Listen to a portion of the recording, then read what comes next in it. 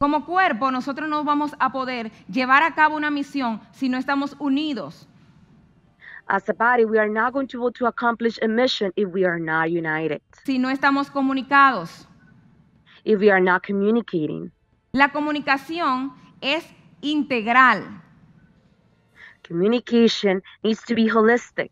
No solo es que usted va a comunicar en el ministerio, It's not that you are only going to communicate in the ministry, sino también que tiene que comunicar en la familia, but also within the family, ya que es la parte fundamental y es la parte donde nosotros vamos a formarnos.